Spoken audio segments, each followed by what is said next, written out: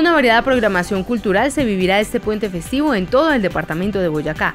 Uno de los municipios más visitados será Paipa, en donde la Alcaldía Municipal y la Secretaría de Cultura y Juventud de esta localidad rinden homenaje a las tradiciones autóctonas de la ciudad en la versión número 20 del Festival Nacional de la Ruana, el Pañolón y los Amasijos, que se realizará durante los días 12, 13 y 14 de mayo en el Parque Jaime Ru.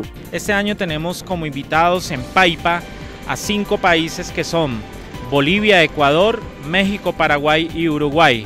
Allí en Paipa vamos a desarrollar una serie de programación eh, que busca fortalecer y enaltecer las tradiciones eh, populares más antiguas de nuestra región.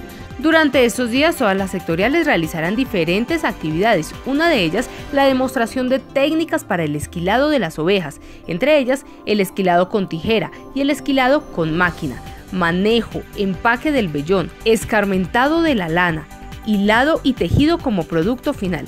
También se realizará el tercer Festival Internacional de Danza Folclórica y la gran competencia del Comelón de Almohábanas. Que Paipa está preparado para recibir a más de 3.200 personas eh, en, en toda su infraestructura hotelera y que tenemos preparado también todo para que se dejen consentir y pues para que se dejen atender lo mejor posible.